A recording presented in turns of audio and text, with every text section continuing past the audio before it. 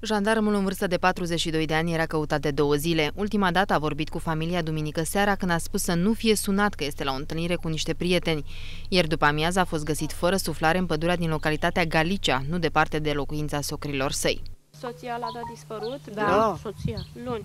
Da, asta și-a așteptat, a zis, dacă a zis că e la undeva să chipuiască... A zis că o fi la mama lui, că s-a dus pe la maică sa da, că maică duminică. sa tot în da. Deci a vizitat toate și, rudele, practic. Da, da, da, a fost, da. am înțeles că a fost și pe la fratele, pe la pisici. Și tot a întrebat, face, a dormit tot la duminică. mata. Tot, tot, deci, cumva și-a luat la revedere. Da. Jandarmul a participat la două misiuni în Afganistan. Gestul bărbatului i-a șocat pe foștii colegi. El trecuse cu brio două testări psihologice după întoarcerea din misiune.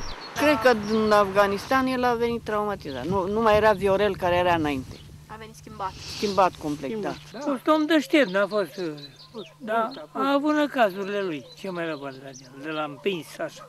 Era un ofițer extrem de volubil, bine dispus, avea o atitudine pozitivă, era cunoscut ca un bun profesionist, un bun coleg, avea o relație foarte bună cu, cu tot colectivul unității noastre, era foarte bine integrat, tocmai de aceea și vestea ne-a bulversat. Anchetatorii trebuie să stabilească dacă a fost vorba despre o sinucidere sau crimă. Omul nu a lăsat niciun bilet de adio.